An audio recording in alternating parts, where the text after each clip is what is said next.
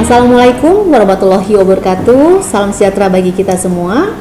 Pada kesempatan kali ini, saya akan menyampaikan beberapa hal, beberapa informasi terkini dari pengurus Pusat Ikatan Notaris Indonesia.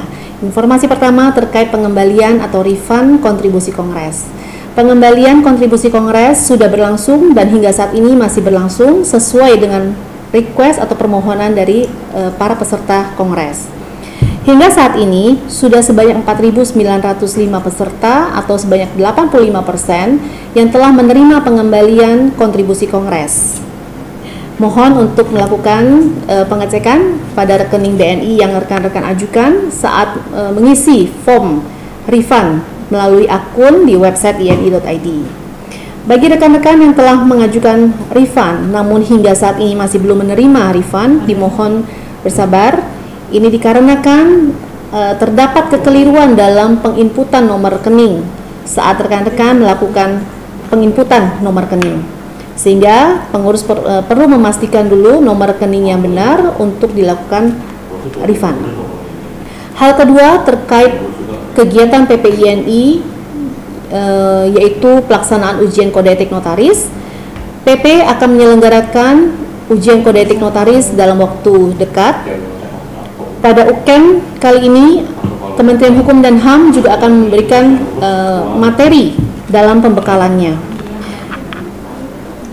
Bagi anggota luar biasa yang telah melakukan pendaftaran pada link pendaftaran UKEN yang, yang dibuka pada saat bulan Mei 2022 yaitu sejumlah 850 uh, ALB ini merupakan prioritas untuk verifikasi dalam uh, untuk di untuk menjadi peserta UKEN dalam waktu dekat ini. Hal ketiga terkait pengumuman pemblokiran akun AHU yang akan dilaksanakan pada tanggal 6 Mei 2023 bagi rekan-rekan notaris yang hingga saat ini belum melakukan pendaftaran GoAML.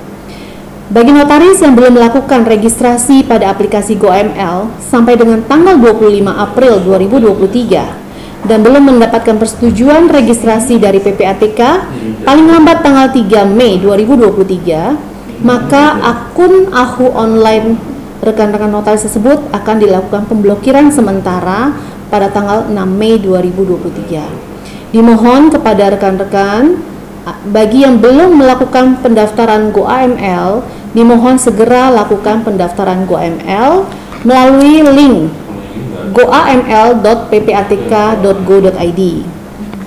Bagi rekan-rekan yang kesulitan terkait pendaftaran tersebut dapat menghubungi call center PPATK dengan nomor 021195.